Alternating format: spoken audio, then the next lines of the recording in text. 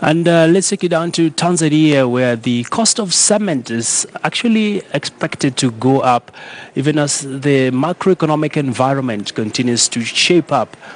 Our reporter Rajab has more details on this story. Well, I can as well explain that we were back since Saturday.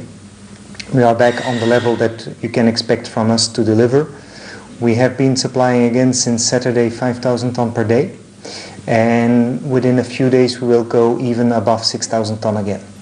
So Twiga Cement has been supplying since the 1st of January until now. Every single day there was cement coming out of this plant. The problem that we see in Tanzania is that the demand is still very high and some competitors were in maintenance for a very long period this year.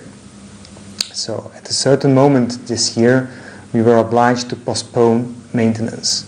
And we have been obliged to reschedule a lot of our maintenance. And we decided at a certain moment in the month of April to reschedule all this maintenance on the big maintenance of the month of July because we were expecting everybody being back at that time.